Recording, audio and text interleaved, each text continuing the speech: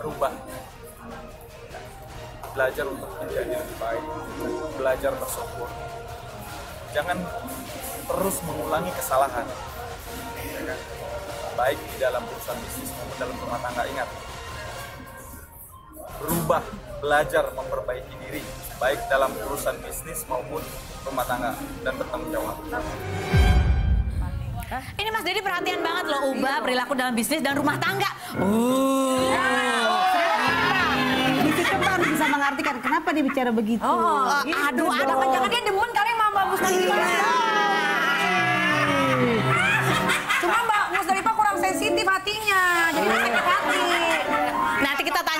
Mas Dedi ya, selain berikut ini. Baiklah.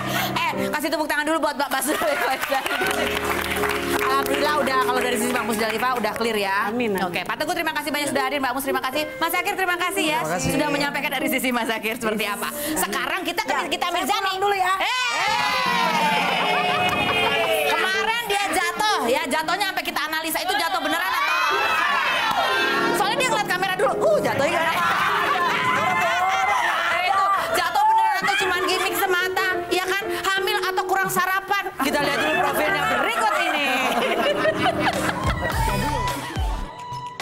Pasca bercerai dari Sajat Ukra pada 2014 lalu, Nikita Mirzani kelahiran Jakarta 17 Maret 1986 ini sempat dikabarkan dekat dengan beberapa pria, di antaranya Samuel Rizal dan seorang pria bule dari Italia. Kini Nikita tengah menjalin hubungan dengan pengusaha Dipo Latif, anak mantan Menteri Abdul Latif. Meski awalnya sempat menutupi jati diri pasangannya, kini ia mulai sering memposting kebersamaannya. Lantas benarkah Niki sempat pingsan saat mengisi acara TV karena sedang hamil muda? Lantas benarkah Niki sudah menikah? Lalu ada apa di balik sikap Niki yang sering mengomentari kisah tentang Lucinta Luna? Saksikan kisah selengkapnya hanya di Rumpi No Secret.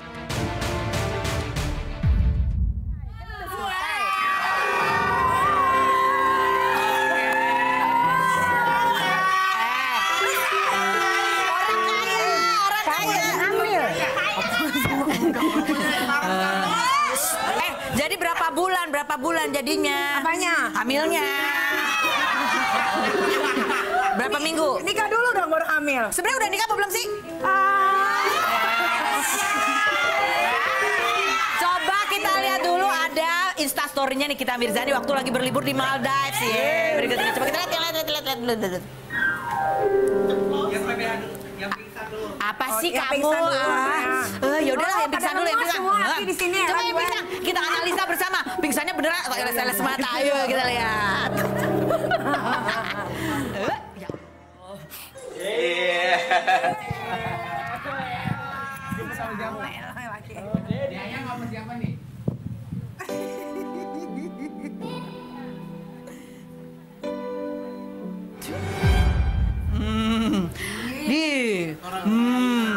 habis jatuh, dijemput, eh perginya ke toko mainan, bukan ke dokter. itu dokter, ya? itu dokter ya? Jaya oh, dokter kandungan dong berarti. Jadi gimana hasilnya? Udah kemarin tuh ngecek otak, kira-kira otaknya ada bener nggak? eh, perasaan jatuhnya kena dengkul duluan, kenapa ngeceknya otak? Karena kepala ini nih berharga banget. Oh iya, iya, iya. Terus terus jadi gimana? Kamu beneran hamil? Maunya sih hamil doain aja ya. Iya, amin. Soalnya soalnya Niki pernah Amin, cerita, dia amin, tuh amin, pengen amin. banget, bener kan kamu waktu itu pengen punya anak Pengen lagi? banget punya anak lagi, pengen punya dua atau tiga lagi lah. Dua sampai tiga lagi. Dan sekarang sama suami yang sekarang saat yang tepat ya. Soal pacar, pacar. Terus kok bisa hamil kalau masih ada Nih, artis aja banyak yang hamil dulu baru kawin. Kenapa sih pada pusing? Eh, bu, bu, bu, bu. Ibu kemarin diwawancara sama Insert Today ngomongnya, ya kan nikah dulu baru hamil. Ini Iya. gimana sih sebenarnya? Jadi kan aku mah nikah dulu baru hamil. Jadi ibu hamil atau enggak ini? Ya, Nah, coba kita lihat, kita cek. Ini suaminya atau pacar pada saat di Maldives. Manggilnya apa coba? Banyak videonya Hah? Oh, udahlah. lagi heboh. Apa sih? Udah. Transgender. Kenapa nggak ngomongin Transjakarta yang semakin aur-auran? Kalau Transjakarta sih nggak punya lek-lekan. Ya juga ya. Ah ya sudahlah, yang penting jujur. Kita jujur di mana pun kita berada pasti kita diterima. Ingat masa lalu itu yang menjadikan kita seperti sekarang. Jadi, budayakan jujur. Kenapa? Karena jujur adalah modal utama untuk menuju sukses. Sekian ceramah dari Mama Niki. Mama Niki, Mama Di dulu. Ya, lagi-lagi hidup itu adalah pilihan. Jadi perempuan atau laki, itu juga pilihan. Itu intermezzo sebelum ke Maldives ya kan. Liburan ke Maldives. Dia panggil my apa sih? Coba tinggal bunyinya apa sih? Dia panggil my husband. Benarkah menikah siri katanya gitu. Kamu menikah siri emang? Aduh nikah siri emangnya Eke gak ada simpenan. Jadi kenapa sekarang aku tanya waktu pacaran mukanya ditutup-tutup gambar? Bukan, bukan, begini, begini. Ya, ditutup itu tak karena banyak orang yang sakit hati karena ternyata aku bisa mendapatkan di Poditiro. Gitu. Banyak tuh siapa misalnya? Capek-capean. Oh, oh capek-capek. Jadi kalaupun menikah, kalau seandainya seandainya kamu menikah, iya. kira-kira hal apa yang membuat kamu tidak mau ngomong kalau kamu sudah menikah? Ada nggak?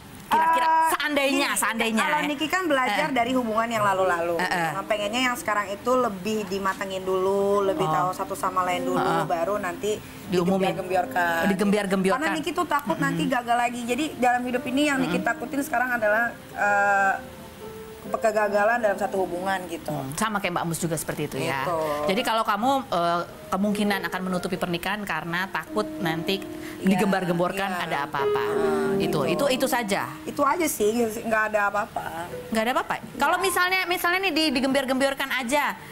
Nanti tahun depan juga digembar-gembiarkan kok. Misalnya kamu gitu tahun depan digembir-gembirkan. Tapi ternyata kalau ternyata kamu udah hamil gimana? Kalau udah hamil namanya rezeki dari Tuhan itu harus diterima dong. Toh toh ada ada ada suara ada suara suara kita akan mulai sambil kerjaan ke mana tetap di Ruby